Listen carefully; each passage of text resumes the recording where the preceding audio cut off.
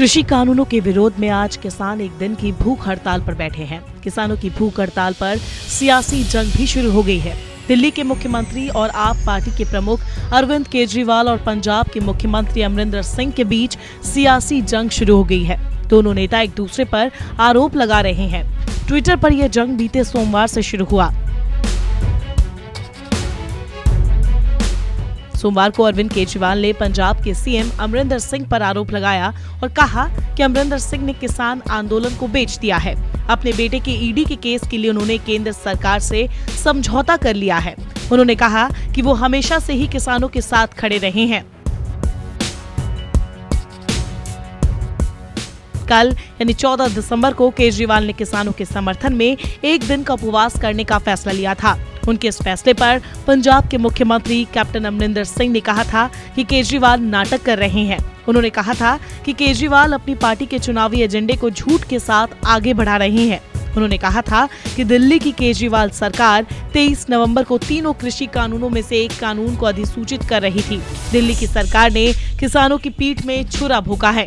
अब केजरीवाल किसानों के समर्थन में उपवास रखकर नाटक कर रहे हैं। इसके अलावा अमरिंदर ने लिखा था ये बात हर पंजाबी जानता है कि मैं ईडी के झूठे केस या किसी अन्य मामले से डरने वाला नहीं हूँ।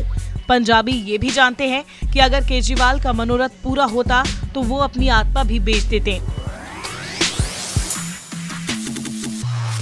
इसके बाद ये जुबानी जंग बढ़ती चली गई और केजरीवाल ने यहाँ तक कह दिया कि कैप्टन अमरिंदर डबल स्टैंडर्ड के हैं। केजरीवाल ने लिखा, इन बिलों के ड्राफ्ट को तैयार करने वाली कमेटी में आप भी शामिल थे। ये बिल आपका देश के लिए तोहफा है। केजरीवाल ने आगे लिखा, कैप्टन साहब, क्यों बीजेपी लीडर्स कभी आपके डबल स्टैंडर्ड के लिए आपको नहीं घेरते, जैसा कि दूसरे विपक्षी नेताओं के साथ होता है? इस आरोप के जवाब में कैप्टन ने फिर केजरीवाल को छूटा करार दिया और लिखा, इन कृषि कानूनों पर किसी भी बैठक में चर्चा नहीं की गई थी और आपके बार बार झूठ बोलने से उस केजरीवाल की हकीकत बदल नहीं जाएगी। और स्वाभाविक रूप से बीजेपी मुझ पर दोयम दर्जे का आरोप नहीं लगा सकती है, क्योंकि मेरा उनके साथ कोई साठ गांठ नहीं है। जैसा आपका है। आखिरकार उन्हें आपकी मिली भगत को ढकना होता है।